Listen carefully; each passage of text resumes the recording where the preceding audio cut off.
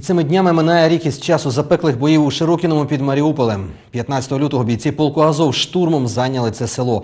Оборону довелось тримати 150 діб У складі полку Азов безпосередню участь у тих подіях на сході брали і миколаївці Ілля Зелінський і Роберт Воробйов. Вони добровольцями пішли до складу військового формування, аби боронити кордони нашої держави.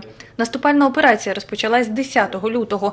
Військові звільнили Павлопіль, Лебединське і Комінтернове. 15 числа мы принимали участие в боях э, за Широкино. Это уже, скажем так, было ми- перемирие по- после Минских соглашений. Э, То есть, э, вот.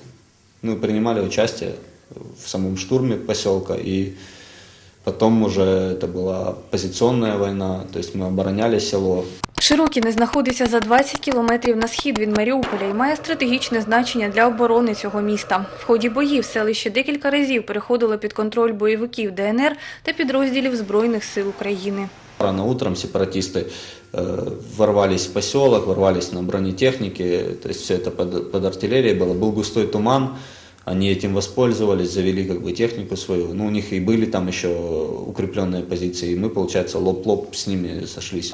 Українським військовим вдалося не лише закріпити свої позиції в цьому населеному пункті, а й вибити з нього збройні угруповання самопроголошеної ДНР. Оборона тривала протягом 150 днів, і нашим бійцям вдалося повністю звільнити Широкіне. У нас были четко поставленные задачи. Мы знали, что мы будем э, идти на штурм. Такой пе- бой, в принципе, у меня был первый. Ну, как, как сказать, я даже не знаю, какие у меня были ощущения внутри, ощи- ощущения и опасности, и как бы и опасность за своих близких, так как товарищей с Николаева во время, шту- ну, во время штурма принимало четыре человека.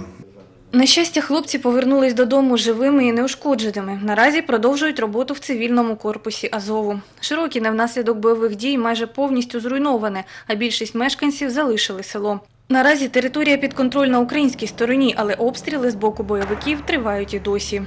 Тетяна Гуменна, Андрій Заворотній, телевізійні новини Миколаївщини.